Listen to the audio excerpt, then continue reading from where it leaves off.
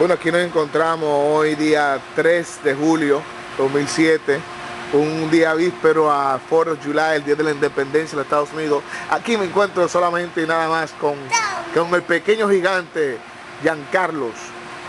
Giancarlos, ¿cómo se siente usted hoy?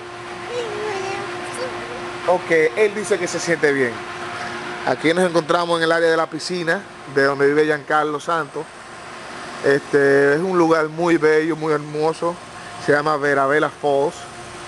Y bueno, aquí pueden ver una muestra donde estamos disfrutando del príncipe Giancarlo y su papá de este hermoso panorama y disfrute de todo ser humano. Miren qué bueno es aquí. Lo único que tú sabes es que hay que traer su neverita y su City y cosas.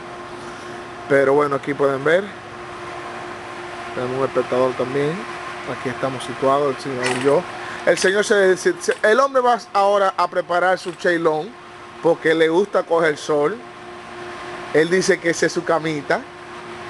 Y él va a estar preparando, ahí pueden ver que está preparando el cheilón para, para acostarse. ¿Estás preparando el cheilón para acostarte? Sí.